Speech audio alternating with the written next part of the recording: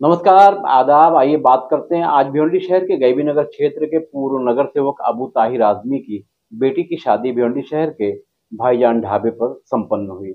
इस मौके पर अबू ताहिर आजमी के जानने वाले, चाहने वाले बहुत सारे लोग यहाँ पहुँचे, साथ ही A I M I M के national spokesman advocate Waris Pathan भी पहुँचे। साथ ही भिवंडी शहर की कई मौजूद हस्तियाँ भी यहाँ मौजूद रही। आइए सुनते हैं वारिस पठान ने इस मौके पर क्या कहा।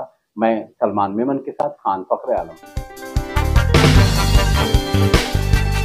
लोग आपसे मुलाकात कर रहे थे यहाँ पर कि क्या लगता है आपको कि भिवंडी से आपको टिकट लेना चाहिए कि नहीं?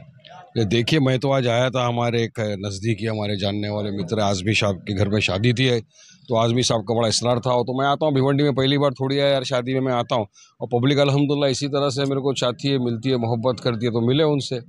अब चुनाव आते जाते जो पार्टी डिसाइड करेगी यहाँ से कहीं और से तो जहाँ से बोलेंगे वहाँ से लड़ते हैं उसमें। क्या है इसको इशू करना? ऐसा रहता है वाइस भाई कि पहले का मामला कुछ और रहता अभी विधानसभा के चुनाव नज़दीक है जिस तरह से लोग आपसे मिल रहे थे अलग अलग पार्टियों से तो लोगों का एक ये रुझान जा रहा है कि वारिस पठान एक यहाँ स्ट्रॉन्ग कैंडिडेट हो सकते हैं। कि लोगों की मोहब्बत है जो मेरे को मिलते हैं। अब पार्टी जहाँ से भी अपने को खड़ा करती है, हम लोग खड़े हो जाते कल आप मेरे साथ चलिए गोवंडी, या परसों चलिए मुमरा तो जहाँ भी जाते लोग अलहमदिल्ला मिलते हैं हमको।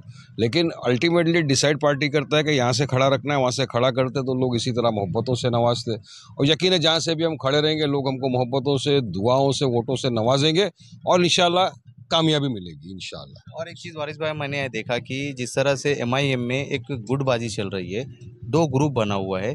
तो इसको लेकर आप एक महाराष्ट्र के एम आई एम के स्पोक पर्सन है। तो उसको किस नज़रिए से देखते हैं? कब खत्म होएगा ऐसे? देखिए, खास कोई गुटबाजी नहीं है। एक घर के अंदर एक दो जगह होता है कुछ ना कुछ। सबके घर में होता है।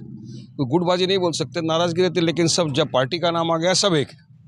आपस ही कुछ हो सकता है इख्तलाफ, लेकिन पार्टी के लिए सब एक साथ, एक परचम तले खड़े ओवैसी साहब की क्यादत में सब साथ में लगे हुए काम